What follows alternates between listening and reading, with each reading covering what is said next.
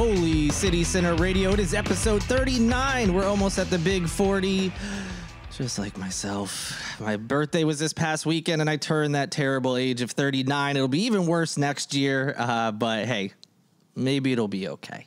Uh, so happy to have you all here. I'll talk about my birthday and some other things in a moment. But first, want to tell you who our guest is this week is Amanda Williamson. She is the program director at the Transcendence Treatment Center. That's an outpatient addiction treatment center for substance use disorder. It is located at 3900 Leeds Avenue in North Charleston. We'll give you all the rest of the information uh, about that program. It's also in the show notes. Uh, really important discussion uh, about folks dealing with these diseases, the substance use disorders, and um, not just them, but also their family and friends, because these are diseases that affect everyone. So, a lot of important information, um, and I, I, think it's a really good listen. So, be sure to you know check that out here at the end of the episode. Uh, but first, we're going to dive in. Like I said, some stuff going on in my life. Had my birthday last Friday. Um, uh, you know, relatively low key. I did do one thing. I went out to Theater 99 to catch an improv show with one of my friends. It was during Charleston Comedy uh, Festival. And it was uh, the reason I went was because Amber Nash uh, from Archer, for those of you who watch that, she plays Pam Poovey. Uh, she was there um, to do an improv with her husband. They both are out of Atlanta, uh, a place called Dad's Garage, which is you know like Atlanta's version of Theater 99. Um, and uh, yeah, they were performing, and it was a lot of fun. The folks from Theater 99 were there as well. And uh, of course, really, really funny. Great to see uh, Amber in person um, performing. You know, you know, something that she is known for, her improv skills, and it was good. It was a, it was a nice, fun night, nice low key thing. We didn't really do too too much else, and uh, yeah, it was good. You know, just keeping it quiet. Uh, but the rest of the weekend, I, I still had some fun. Went to the uh, Captain's Comic Expo, uh, Ca- Captain's uh, Comics in West Ashley. Uh, they put this on every year. They do an amazing job. Their stores in West Ashley, but the expo is in Mount Pleasant at the uh, Omar Shrine uh, facility just by Patriots Point. it was really cool. I've been there a couple times before, but not in a couple years. you know, they have comic books, which, you know, I started to get into a little bit after all these Marvel movies, which I love, but I, I, read them all on my phone through an app when I do read them. So I was more there for like kind of just seeing the people in their costumes, which is always fun. Seeing all the kids getting excited about all the stuff that was there. Um, I collect these dumb little Funko Pop figurines you may have seen, so I wanted to see if there was some there. So, you know, just walked around, checked out all the booths, uh, walked away with some fun little uh, toys for myself. And uh, on Sunday, I went back with a friend uh, who was excited to hear about some of the stuff that was there. So, um, I actually went on back to back days, being the nerd that I am, um, and it was fun. It was just a nice birthday weekend thing to do. Um, it always tends to fall around my birthday, which is fun, so I can always justify why I'm buying way too many toys for myself. Because um, hey, it's my birthday. What the hell? Uh, so that was good. Um, also, I did try uh, Old Lee's finally, which my producer Lindsay Collins of LMC Soundsystem has a podcast, FMB Radio, and she uh, highly recommended this place. And I've heard a couple other people say how good it is. It's a Chinese restaurant, and uh, they do deliver uh, a lot of places. So I actually had them deliver and uh, yeah, it was fantastic. You know, I only was able to try a couple things. Um, I went with like kung pao chicken, and then they have this like uh, chicken cheese. I forget the official name of it, but basically it's just chicken with cheese in the middle, melted cheese, and you know, like uh, almost deep fried, like there's breading around it, and you know, that seems very American to me. um, but you know, so of course it was enjoyable, and the kung pao chicken was awesome, but. I hear everything there is fantastic, so I can't wait to try some more. Um, so yeah, certainly recommend that based on my one experience. Um, also, uh, Charleston Wine and Food Festival, as we're recording this, is officially underway. Uh, I went to opening night, which was fun. It was in the Cistern Yard. Perfect weather for it. Um, nice to have some space and be outdoors under the uh, oak trees and everything. The Spanish moss hanging down, so pretty. Um, and Charleston's top restaurants are there. Opening night every year similar to Culinary Village, where you know you go in there and all the um, you know restaurants have their own little table. They have little samples of whatever dish they decide to provide, and of course. So many delicious uh, treats were there, and it was just so much fun um, to you know, see a lot of people I, I haven't seen in a couple years. You know, there's people that I know who work for, you know, PR companies or restaurants or, you know, whatever it may be, other bloggers and uh, Instagram uh, personalities that, you know, we just haven't had events over the last couple years. So it was nice. I got to see a lot of people. Um, as well as meet some new folks, which is always uh, fun at these events. You know, putting faces to the uh, emails that I get about uh, businesses and things. So overall, a good time. Um, I've got a full weekend of several other events, uh, but this podcast we're obviously recording before that. By the time you hear this, hopefully I have survived Wine and Food Week, and I haven't been, uh, you know, put in a wheelbarrow and brought to the hospital because I ate way too much food. Um, you know, we'll we'll keep you posted on that. So that's what's going on here in Holy City Sinnerland. So now we'll move to some of the top topics from this last week. Uh, last week, we uh, touched on the uh, Russian invasion of Ukraine, which is obviously ongoing um, and is just a horrible situation for those folks. Uh, President uh, Volodymyr Zelensky of Ukraine has become something of a uh, folk hero because he is staying there and with the troops and like really he's in there. He's not hiding. Um, he provides updates and he's kind of, yeah, like I said, he's kind of become a folk hero in the United States and you know, there's a lot of sad stories, of course, that have come out of this whole thing. But uh, one, I wanted to say it's been nice seeing folks in Charleston kind of rally behind and show their support, uh, especially Euro Foods. Uh, uh, a restaurant here in Charleston. They've had some gatherings and they've also uh, are collecting supplies, and I'm sure they will still be doing that. Um, when you hear this, check them out on Instagram. They have slides of all the different stuff that they are collecting for um, people who are in the Ukraine. Um, so it's been great seeing that. City Hall had the Ukraine flag put up. They also lit up City Hall in blue and yellow, the flag's color. So it's been nice to seeing that support, even if you know it's it's not directly doing anything as far as like the flag and the lights, but uh, it's a nice um, nice sentiment by the city for sure. Um, but you know, in that same vein, I want to talk about two stories that you know have uh, I just thought were really unique and cool. Um, you know, as it relates to the situation.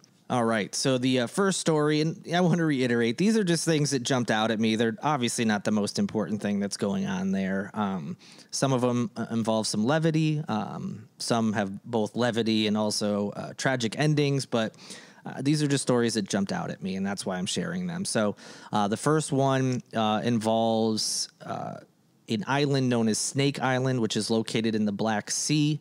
Uh, audio had emerged of Ukrainians defending that island after receiving a warning from Russian forces before the attack. I, it just just shows you the resolve um, of the folks in the Ukraine. Um, so the Russian warship or warships were approaching, but one sent out a transmission um, that said, "quote I am a Russian warship. I suggest you lay down your arms and surrender to avoid bloodshed and unnecessary victims, or you will be bombed. End quote. Uh, a male Ukrainian soldier is then heard saying, "quote So that's that's it." Dot dot dot should I tell them to fuck themselves? End quote. Is this is the Ukrainian soldier talking to uh, you know someone else that's not on the island? A female Ukrainian soldier responds, "Well, just in case." And so that male soldier then responds to the Russian warship, "Quote: Warship, go fuck yourself." End quote. So, I, unfortunately, uh, it didn't go um, their way. Uh, Russia ended up uh, taking over that island basically, and, and the soldiers from the Ukraine died. But just showing that bravery and just obstinance in the face of you know what they might have known was could go very very wrong for them. And I just you know I just thought that was an interesting story and just shows like again just the bravery and like hey look this is our country you shouldn't be here and we're not just going to lay down our weapons. Um, I, I, thought that was a good story. Again, wish it turned out differently, but just love them standing up. Uh, the second one is similar. Thankfully, um, from all reports, the woman I'm about to talk about is okay. Um, but this story has to do with the sunflower, which is the Ukraine's national flower. It's becoming a global, excuse me, it's becoming a global symbol of solidarity. Um, and the reason for that is in a video that recently went viral, uh, an elderly Ukrainian woman was heard yelling at armed Russian soldiers that were on Ukrainian soil. They had showed up in her neighborhood she did not care. She went right up to them, was you know cursing at them, saying they shouldn't be here, and the soldier um, you know, thankfully didn't escalate and kept telling her like, you know, this conversation is going not going anywhere. Please just step back. Um, and she was unharmed, thankfully. But in, in part of her cursing and, and scolding them, um, she said something along the lines of take she literally had sunflower seeds in her pocket and she dropped them at their feet and said take these seeds so sunflowers grow here when you die uh, that, according to a BBC News report. But again, that video ended up going viral. You can see it for yourself out there. Uh, obviously, um, you have it, it, these are based on the captions. Um, I don't speak any uh, other language other than English, so I'm trusting the news sources on this one, but again, just this old woman that this could have gone bad. It's it's a war. You just never know what could happen. Those soldiers could have harmed her or, or you know taken her into custody or who knows. But she was like, look, you're in my neighborhood and you shouldn't be here. And then just that kind of like withering, like just guaranteeing in her mind that, look, you don't belong here and you're going to die. But at least, you know, when you die, sunflower seeds will grow here or sunflowers will grow from these seeds. And again, I just thought that was just like a brave and just a badass woman. Um, I, I really enjoyed that story. And, because of that, yeah, the sunflowers kind of become like a way to show solidarity. Uh, First Lady Dr. Jill Biden ha- had a sunflower on her mask that she wore during the State of the Union. Uh, Senator Kirsten Gillibrand uh, from New York uh, did something similar with a sunflower. So, um, again, just showing that solidarity with folks has also been encouraging as well. From the global level, we'll come back down to the state level uh, with our next story. This is from an Associated Press article on February 26th. Um, and as an update, uh, we've talked about the gerrymandered um, congressional districts that were drawn, were approved by both the South Carolina Senate and House, and uh, governor signed. Um, a group on behalf of the NAACP has been suing over this. Uh, well, unfortunately, according to this article, the uh, 2022 elections will likely use those maps.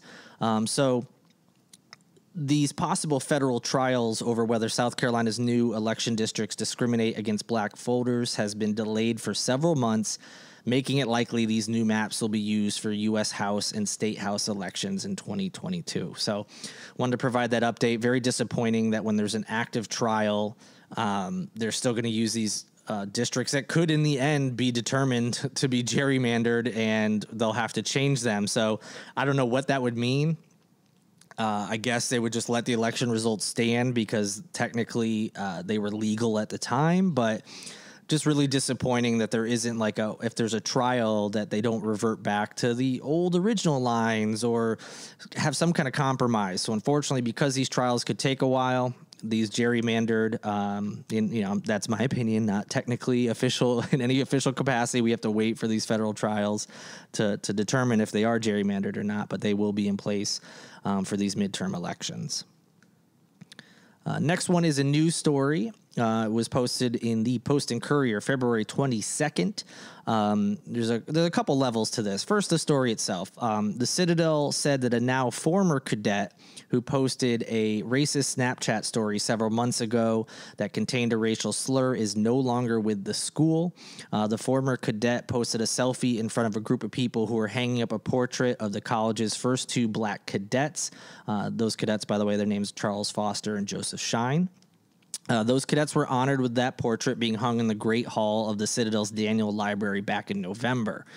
And, and by the way, yes, this happened in November, but the school uh, wasn't aware of the Snapchat until recently. That's why it's in the news now here in February. Um, in that Snapchat post, a former cadet mocked the college for hanging up a painting of two black men who he called the N word in his Snapchat. Uh, the Citadel said in an emailed statement February 22nd that its leadership only recently was made aware of the social media post, which I just said. They called it vile. Um, and then they mentioned that the cadet is no longer with the school, which is the right move. Uh, the college said uh, in their response, quote, there is no excuse for this violation of human decency and dignity. Racism in any form is not tolerated at, the, at this college where the core values of honor, duty, and respect will be upheld, end quote. Um, so a couple things. One, Citadel, right thing, absolutely. This person does not deserve to be at their school. Um, and as many know, the Citadel has a very not great history um, with racism and racial uh, issues. Uh, so glad to see here in 2022 they did the right thing, being on the right side of this. Uh, but the other side of this story is uh, the Post and Courier Uh, their headline was Citadel cadet who posted racially offensive Snapchat story no longer at school.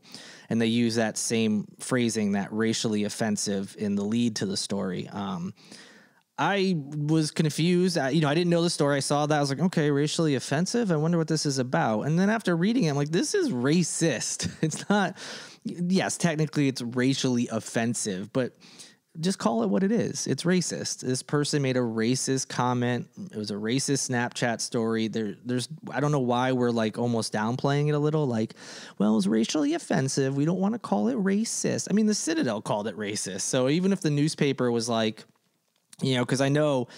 Uh, in addition to all these racism um, stories and claims over the last few years, um, you know, when the Black Lives Matter um, movement really picked up after the murder of George Floyd, uh, we saw newspapers and media outlets struggling with what to call certain incidents because, like, our, you know, we're the news. We're supposed to provide both sides of the story or be as unbiased as we can. Should we not be? You know, they struggled with calling things racist or not, just like they struggled with Donald Trump in the presidency. They struggled with do we call this statement false? Do we call him a liar? This is, you know, they were struggling with that. So I get it, but at the same time, if it's clearly a lie or clearly racist, why are we why are we sugarcoating it? Just it, it was racist. End of story. I, I don't know why. I, I tweeted that um, to them. No surprise, they didn't respond to it, and the headline as of today is still the same. Um, yeah, I don't know why they chose that. Again, technically it is correct, but I don't know why we're almost downplaying it by using that kind of language. Just you know, call a thing what it is. Um, it was racist. End of story. All right, some better news, some happy news, um, which in a way will tie into my guest. Um, I'm sure you all are familiar, even if you don't know the name, uh, the Riviera, the theater on uh, at 225 King Street. Uh, you may have seen it. It's got the old school uh, board out front. Um, it looks like it has some lights, and it could be really, really pretty when it's lit up. Um, it's uh, a 1930s Art Deco theater. Uh, it's you know it has events here and there, but they're very few and far between. Uh, but they did announce that they're going to hold it, their inaugural concert with Grammy nominated artist Jewel. Uh, it'll be on Friday, February 18th. Um, this is ahead of her upcoming album release. Uh, her next album is going to be called Free Will Wheelin' Woman. That is tough to say. Uh, doors will open at 7 p.m. and the official title of the event is called Never Broken: An Evening with Jewel at the Riv. Um, and so, why does this tie into our guest today? They are uh, partnering. The venue is partnering with Jewel and some local organizations, and they hope to aim. Uh, their aim is to raise awareness around the mental health needs in our communities and shining a light on the resources that are available to people of all ages. Um, in addition to her solo acoustic performance, Jewel is going to be sharing stories about the pivotal role mental health awareness has played in her own life.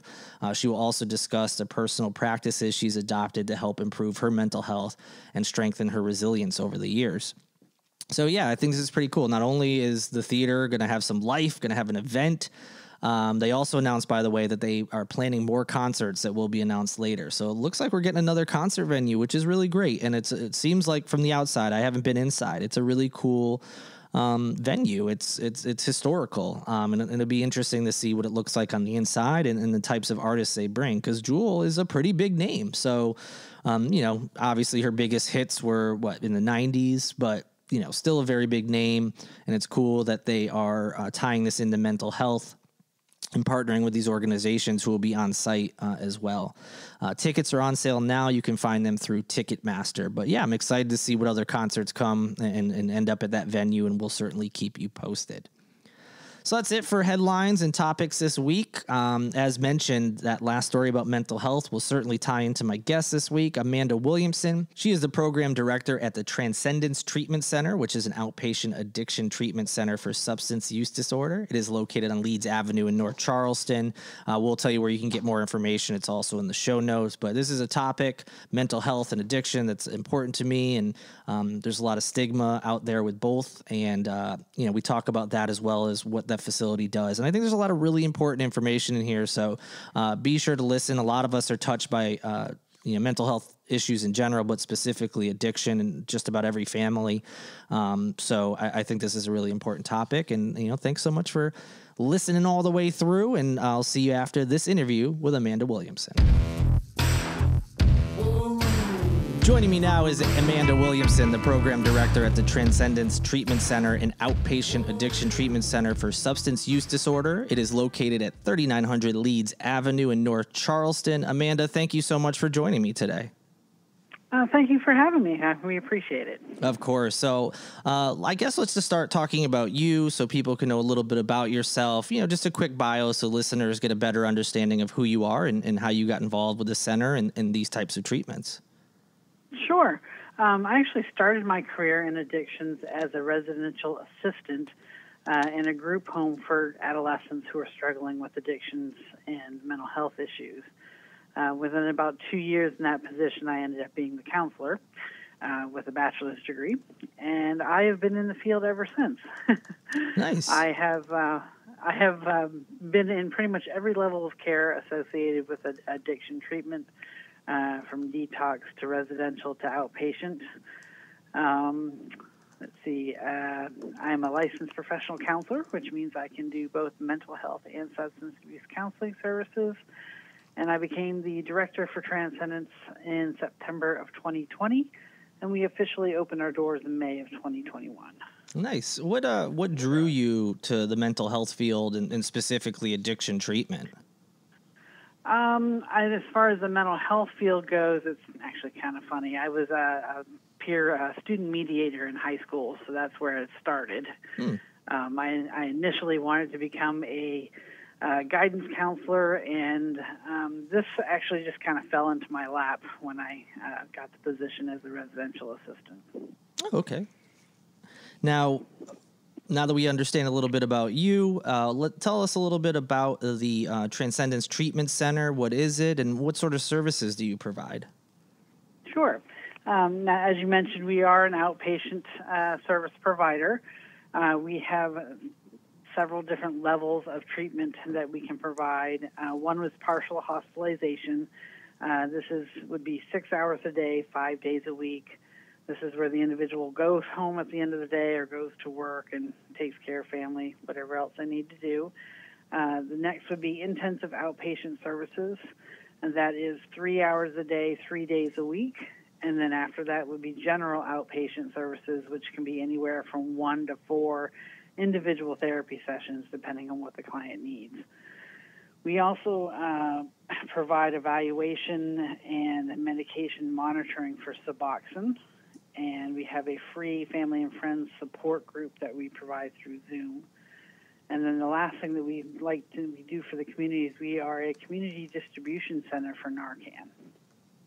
Okay, gotcha. That's yeah, that's good to know too, because we'll get into that. You know, the uptick we've seen in, in you know this field, but I also uh, I didn't realize some of the stuff I saw when I was looking at your website. I'm glad that the listeners are hearing it too. I, I didn't realize there's also family support provided, which is great because mental health and specifically addiction treatments affect everyone, um, not just the person Absolutely. who's suffering from it. So it's good that there's family support out there as well. Um, yep. Now, there are other uh, facilities and, and, treatment options that are out there. How does uh, your business differ from other treatment options, or what sets you apart? Well, Transcendence Treatment Center takes a holistic approach to treatment and recovery. It's not enough just to learn how to manage the symptoms of addiction. The individual really has to kind of dig deeper into the whys of the addiction and the hows of living a happy and fulfilling life. Um, this includes uh, being in touch with one's self, you know, with the physical, emotional, and spiritual aspects of the person. So we encourage our clients to explore alternative forms of care, such as yoga, meditation, mindfulness, and spirituality, just to name a few. Oh, good. So yeah, it's not just what you know people think about when it comes to twelve-step programs. It's uh, treating uh, beyond that, which um, I think is, is certainly good. You know, one option is better than none, but it, it is. I like that you guys have that kind of full scope um, to, to really treat folks who are who are suffering. Um, you know, getting into that now that we we know you know what your facility provides and the sort of help. Eh, sort of touching on what I mentioned before, what are some of the common misconceptions that we're still running into in this day and age about addiction and recovery? Um, individuals struggling with addiction have been stigmatized and marginalized for as long as drugs and alcohol have been around. One of the biggest misconceptions is that individuals should be able to just stop using, and Mm. that the continued use is a matter of choice. And this is far from the truth. Addiction is really a complicated disease of the brain in which the ability to make sound decisions and to learn from mistakes is greatly hindered. Uh, the chemicals of addiction work on that part of the brain that's uh, responsible for our survival. Um, and these chemicals produce so much dopamine that it causes the brain to put that that use of the substance or the alcohol above everything else. So you know, and, you know food, water, shelter, all that kind of goes out the window. Yeah, it's it's a horrible disease, and you know I like when you said that you know some people still think it's a matter of choice. You know, just because they can stop drinking at a certain point or, or stop using whatever their drug of choice may be, you know, uh, you know, I'm good. I'll stop right there. It doesn't mean everybody else can. It's a disease. They can't help it, and that relates to mental health issues as well, unrelated to addictions, of course. Whether it's anxiety, depression, you know, where people are like, oh, just have a better attitude. You know, just smile more. You know, it just doesn't work that way. Um, Absolutely. you know, unfortunately, these are things that I think, and, and you being the expert can let me know if this is true. It, it seems we get better every year in some capacity with understanding these diseases and, uh, you know, kind of eroding uh, these misconceptions that people have and stigmas, but, you know, there's still work to be done. Absolutely, and and I think part of that is, you know, the language we use to refer to an individual who has an addiction. Um, you know, we we've gone from calling people alcoholics and druggies and and uh, tweakers or whatever, uh, when really we should. It's it's a disease. We wouldn't call somebody cancer. You know, we Right, would, good point. say somebody a person with cancer. So. How we speak about an individual who's struggling with, with addiction has a lot to do with that uh, stigmatizing. What sort of what, what would you say instead of someone you know says like oh they're an alcoholic or you know they're addicted to drugs? What what is a more preferred um, term that you use or terms? I, I would say that, that I have an alcohol addiction. Mm. I wouldn't call myself an alcoholic, or that individual is struggling with addiction, rather than saying you know they're a druggie. Yeah, right. Yeah, I, yeah. You don't even think about that. It's just so commonplace, you know. And even the twelve step program, you know, like Alcoholics Anonymous, like has it in the title, obviously, you know. But uh, that's interesting. You know, words have meaning. We've I've talked about that in this podcast about all manner of topics. So uh, I appreciate that as well. Um, you know, you having said that. Um, in addition to you know misconceptions and stigma and things like that, um, it seems that the issues of uh, addiction uh, are getting worse. Um, what, if any, trends have you noticed in patients, uh, especially since the pandemic began? I, am sure you saw uh, DHEC here in South Carolina put out a report saying overdose deaths have increased more than 50% during the first year of the pandemic. Um, and it's also up nationally as well. So, have you noticed that trend in your work as well? Absolutely. Um, one of the biggest parts of the recovery process is an individual support system. Um, you know, with this pandemic, that has greatly limited the face-to-face interactions that people have been able to have. Take uh, the 12-step supports like AA and NA. A lot of those were forced to go to virtual formats for a long period of time and are just now opening back up to in-person meetings. Um, this put a lot of folks in, in a kind of bad spot. I've had many people tell me they would not attend the, the Zoom support meetings because they just didn't feel like they were connecting, Mm. um, you know, to the supports that were there. Um, had other people tell me that they would attend the meetings online, but they would turn their camera off and they would be drinking or using while they're Oh, listening to the people talk. You know, so um, you know, there was much less engagement during the pandemic uh, with out, other outside activities too. You know, going out to coffee with friends, going out to dinner, movies, whatever. All those things that you know we take for granted. Those of us who are, who are not struggling with addiction, those are the things that keeps them focused on you know being involved in life and finding enjoyment. You know, it's it's that isolation that that really kind of set it all off for a lot of folks. Mm. And even those who didn't have addiction issues are now popping up with issues because they too are isolated. So the social drinker who, you know, would drink with friends every now and then, sitting at home bored, ended up developing an addiction because you know they spent their time drinking. So.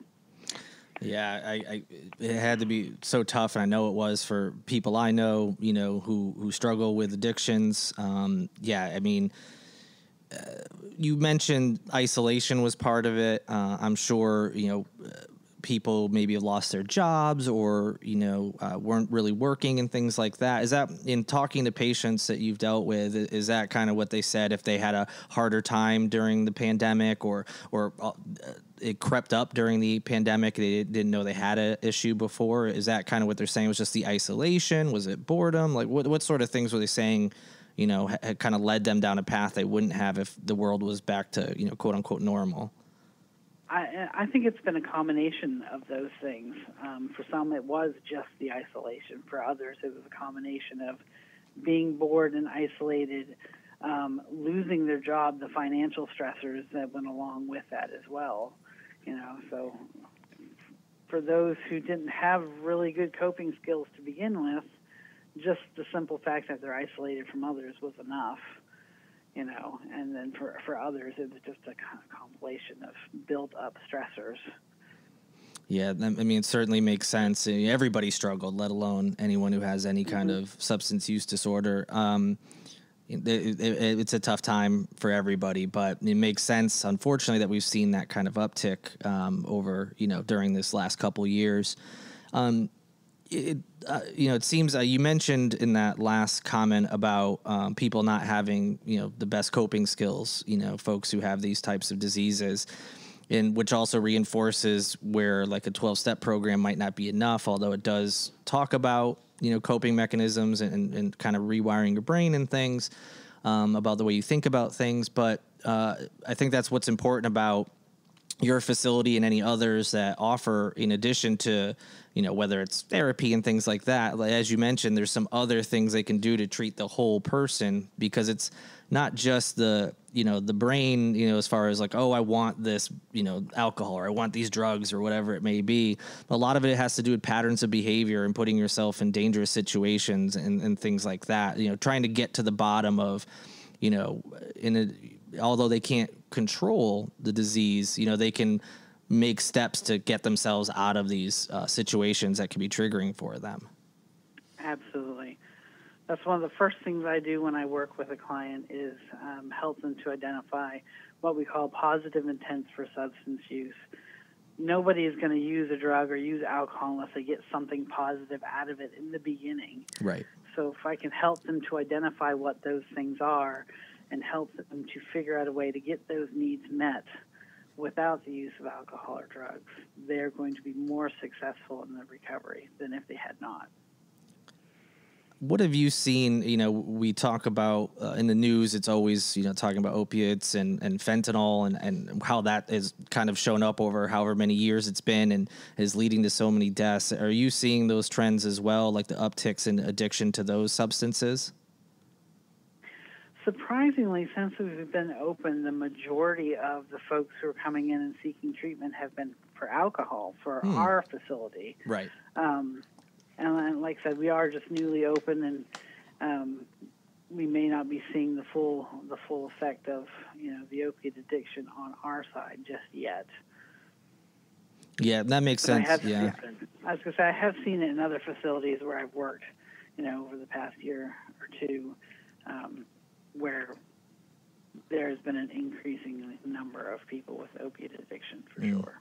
With fentanyl, it seems it, there are some people, of course, who use it recreationally and want to, but it also seems like it's being added, whether it's cutting drugs or whatever, with it, and people are unaware of it, which just adds another level of danger um, to people who are using those types of drugs. Um, you know, they might not necessarily be seeking it out, but just another danger for anyone you know who's addicted um, is having you know whatever their choice of uh, substances being cut with that. Yes, absolutely. Like I said, if you're buying stuff off the streets, you certainly don't know where it's coming from or what's in it. Mm. So that is a huge risk that they take every time that they go out and purchase you know, their substance of dependence. For people listening now who either for themselves, because um, I think there's two two very different um, paths to take here, but people for themselves are like, you know what, I, I do need help. Um, how can they uh, contact your facility, or what's the best met, met, best methods for them? Um, but also on the opposite side, if there's people listening, they have a friend or a family member who they think needs help. Um, I know these are two separate questions, so take your time. But uh, what's the best way for them to to seek out the appropriate treatment uh, for that family member or friend? Um, you know, and how can they get more information? Sure. Um, they can reach out to any of their local substance use treatment providers and ask questions about where to start. Most of the treatment programs will complete a pre screening process with the, the, addicted individual just to make sure that they don't need something like medical detox mm. and to make sure that they will meet their level of care. Um, they can also seek out the, the 12 step supports in the area as I'd mentioned earlier, having that positive support system is crucial to recovery. As for uh, here transcendence, um, we don't we, we people don't need to be referred to our program. They can just give us a call, uh, and we'll answer whatever questions that they have to the best of our ability. We'll complete a pre-screening over the phone, do the verification of benefits uh, for their insurance if they have that. We usually get that back in a very short amount of time. And if we're unable to serve the individual because they need a higher level of care or for whatever reason, we will assist them with finding possible uh, treatment programs for them, and then we'll follow up to make sure that they got into some place that was suitable for them. That's good, and and for based on your experience or you know uh, your expertise in this this field, the opposite side, the family or friends, you know, is it should they be seeking out this information, you know, first, or what's the best way to approach someone they think may need help? Uh, I think uh, education, getting some education themselves first on what's available as far as treatment and what's out there. Um, and then they really need to get their loved ones buy-in. Yeah. Um, sitting down and talking to the individual uh, about you know, uh, getting some help and what services are available, um, and then getting them because because they're going to have to be the ones that call into the treatment program uh, to get the to get it started. You know, you you have to get their buy-in to, to kind of call in and, and get that pre-screening done figure out what level of care they need to be in. Yeah, I, think there's a lot of important information and points you've made, but I think that's that's one where every person and every situation is different. You know, uh, just like any other disease, it, it attacks people mm-hmm. differently. People are at different levels in the you know however long they've had it. Um, you know, so it's important to keep that in mind that there's not a one-stop shop or solution for everybody. Um, I think that's important. I think what you mentioned about 12 step programs and, and groups like that um, are great. They're super welcoming, they're there to help. Um, and one of the tenets of those programs tends to be that you have to give back what you were given so freely. Um, so mm-hmm. they are people are willing to help and they want to help. Um, so I think that's important as well. And, and for family and friends listening, like you said, education super important to understand what what words or phrasing or the way you come at someone um, when you're trying to express that you want to help them, you know, could set that person off. You know, so there's a lot. Right. Uh, education is always key in these situations for sure. Mm-hmm. And and if the if the family member has someone who's addicted to opiates, I highly recommend that they come in, take a brief five minute training, and and get some Narcan in their possession. Um, that could save their loved one's life in the event of an accidental overdose. Uh, even if it's you, if you have an elderly family member who takes pain medication, it is not a bad idea to have Narcan on hand because we know that you know um, elderly folks can sometimes forget right. what meds mm-hmm. they've taken and what ones they haven't, mm-hmm, mm-hmm. And, and, that would be a, a, a good thing to have on hand just you know just in case. Yeah, that's that's not a bad idea. And then you said that your facility has Narcan, and, and people are able to pick it up. Is it free? Is there a cost for it? Uh, it is free. All they got to do is stop in and let us know that they, um, you know, they would like to get trained and, and have some Narcan on hand to make sure that their family member is safe. Good, good. We're happy to do that for them. And uh, uh, there also are groups out there for families too. I forgot to mention, you know, for those who who have family members or friends dealing with um, any of these diseases, there are support groups for that as well that may be beneficial to figure out not just best practices for how to to you know interact with that person but also for themselves how they're how they deal with those types of things. So there's you know those options out there for people as well. And i'm sure they can call your facility and, and ask questions and and you know see what mm-hmm. what um, resources are available to folks. If you don't necessarily provide them you can direct them to the appropriate place. We certainly can. Um, and we do have a family and friends support group every tuesday at 11 it is uh, virtual at this point, so it's over Zoom. And if anybody's interested, they can check out our Facebook page and get the link to that as well. Great. Yeah, we'll uh, we'll definitely give you a chance here at the end to, uh, you know, shout out where people can get more information. But before we do that, um, number one, thank you so much for the work you do in this field. Uh, it's important to me and so many others, and for taking the time to chat with me. Is there anything I didn't talk about um, that you think is important, or you think people should know um, that's related to everything we've been discussing? Um, I think the the biggest thing is for people to you know to educate themselves about what what addiction is, um, so that we can kind of get over the stigma that people who are addicted to drugs and alcohol are bad people. Mm. They're not bad people. It can happen to anybody. Um, addiction doesn't discriminate. It doesn't care how old you are, how young you are, how much money you make. None of that matters uh, when it comes to addiction.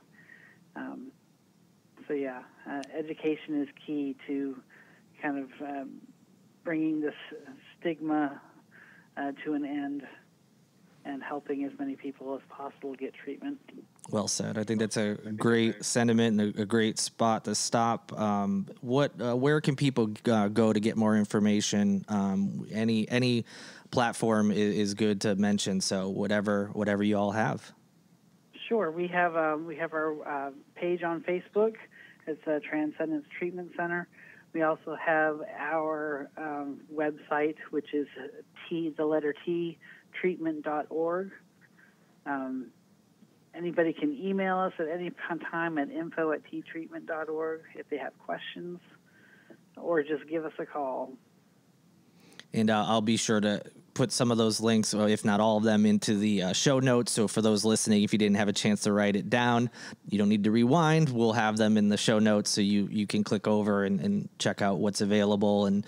Um, you know, find any information and help you may need. So, uh, Amanda Williamson, thank you so much for joining me. Um, I think this is really important information, and, and hopefully, this will um, provide some education or, or some much needed help for some folks. So, so, thank you so much for taking the time today. And thank you for having us, Christian. We really appreciate it.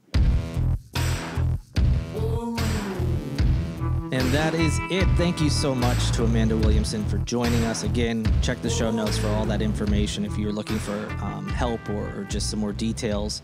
Um, I, I, can't thank her enough for coming on. Such an important topic, and especially as we mentioned uh, over these last few years, as there's been an uptick in um, you know deaths related to overdoses and things of that nature. So thank you to her for uh, coming on the program today. Thank you to you guys for listening. I, I greatly appreciate uh, you stopping by for another week. Please rate and review if you're on Apple, subscribe and all that good stuff. Spread the word. Share this podcast with people who you think may enjoy it. Uh, anytime you folks do that, it helps out for sure.